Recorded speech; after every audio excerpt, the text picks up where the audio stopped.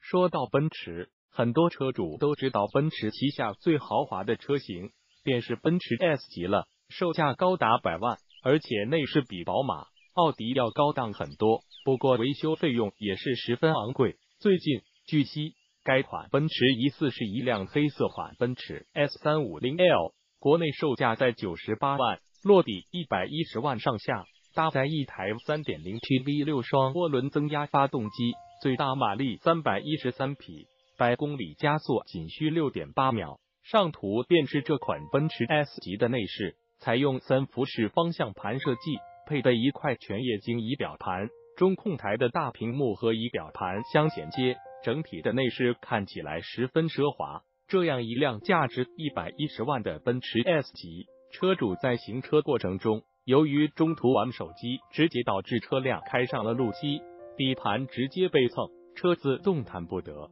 面对这样一幕，车主立马打了保险电话，结果不到十分钟，就有三家四 S 店工作人员立马赶到现场。奔驰车主倍感欣慰，网友看后称，这辆奔驰修起来能赚很多钱，四 S 店肯定会抢着维修啊。